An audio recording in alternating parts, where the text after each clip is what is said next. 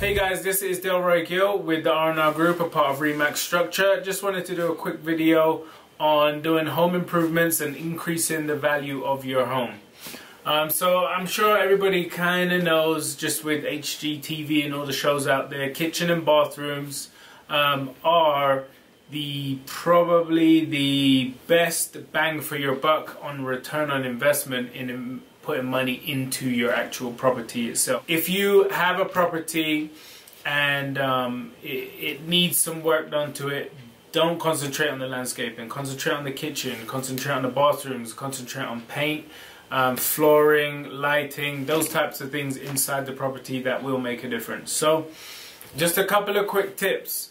Um, what you do need to watch out for is overspending or underspending.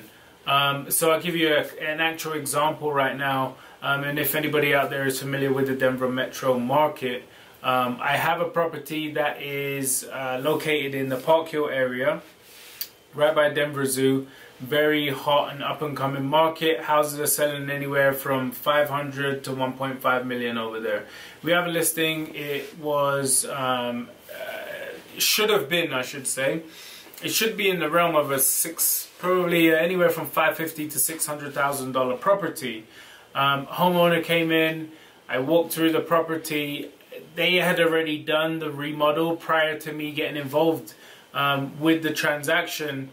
And the unfortunate thing is the upgrades that they have done in the property are not to the standard or to the styling, more importantly, for that neighborhood. They updated the house. They put in, you know, the neutral tones, the browns, um, the uh, the dark copper um, finishes on the faucet in the bathrooms and just very monotones um, in the, the, the choosings of the tiles and the fabrics that they used in the home. Which if it was in the suburbs would have totally been okay and have sold.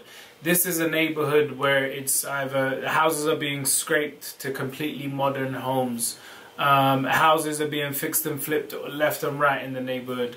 So we've now got a home that's been updated and a ton of money has been spent in it, but it's just not styled to the community. A lot of the things when you're styling your home, check out the magazines, check out what's in your area, especially if there's new builds in your area. The new build is going to be the most general and uh, most safe direction to go in if you're thinking about selling your house.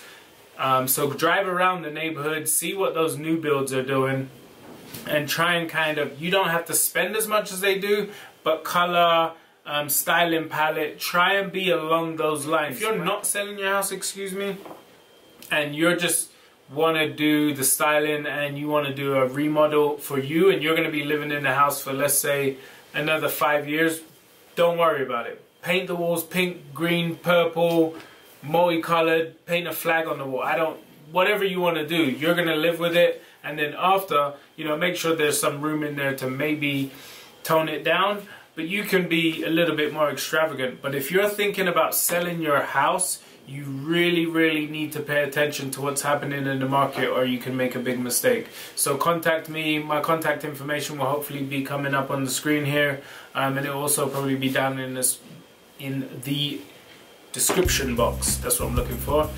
Um, and we'll be able to come out and do free evaluations for you. Thank you for checking us out. We're here to serve your real estate needs anytime you need us R&R group. See you again. Thanks. Bye.